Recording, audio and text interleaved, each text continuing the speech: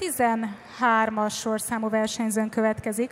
Ugye tudjátok, hogy a Heroes of the Stormban nem is olyan régen, vagy hát talán most már nem annyira aktuális, de újabb karakterek kerültek be. És bekerült Alex Strasza, a sárkányok királynője, akit a titánok arra választottak, hogy védelmezzen minden élőt Azeroton. Bár az erejét átadta a csatában Deathwing ellen, célja továbbra is változatlan. 13-as sorszámban Jakus Rózsa, Heroes of the Storm, Alex Strasza.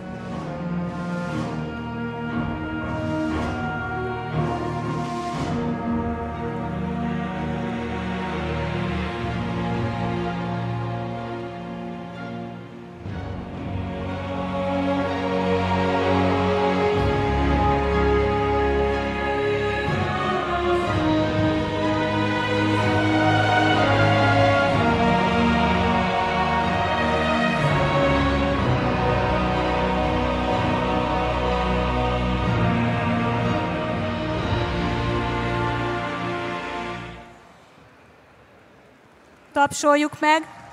Játszik egyébként valaki Heroes of the Stormot Alex Strasszával? Ha vagytok, azért jól van, helyes.